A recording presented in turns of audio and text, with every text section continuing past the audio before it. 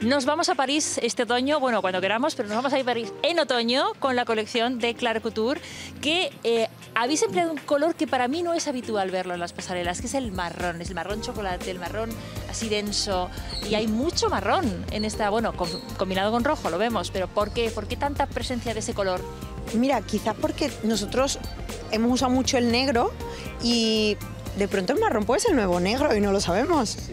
Y es muy elegante vamos a aligerar. bien. no es un color así como que, se, que sea tan prominente eh, y en este caso hacéis unas combinaciones eh, estupendas con el rojo, con los estampados.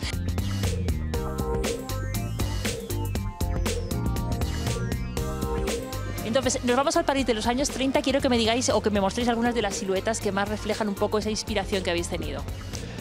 En realidad, eh, la inspiración de los años 30 es por lo único que queremos transmitir es el sentir lo que hace en el momento de los, de los años 30, ese movimiento que se crea en París con, con arquitectos, con diseñadores, con todo ese, ese amor o este sentimiento que está creando la moda hace que llegue a la gente. Eso es lo que nosotros hemos querido transmitir con esta colección.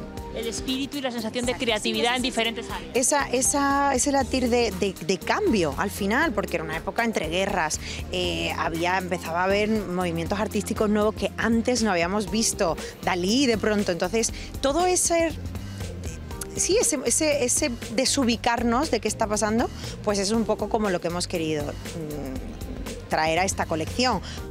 Hay diferentes diseños en esta colección que replicáis en diferentes colores o ideas que replicáis en diferentes colores. Entre esos vestidos que decías antes, no, hay vestidos sencillos, eh, que no aburridos, sino sencillos, eh, pero tienen una innovación como por ejemplo, estoy pensando, este puede ser un diseño sencillo, pero tiene el detalle de las mangas guante, ¿no?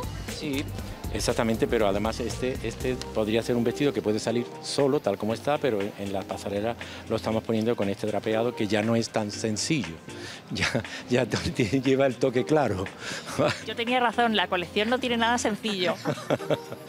bueno, pero... Este detalle de lujo de trabajado en los flecos me parece eh, una auténtica joya y quiero que me habléis de esta, esta composición porque, bueno, pues, pues es, todos los flecos componen el vestido. Sí, sí, sí.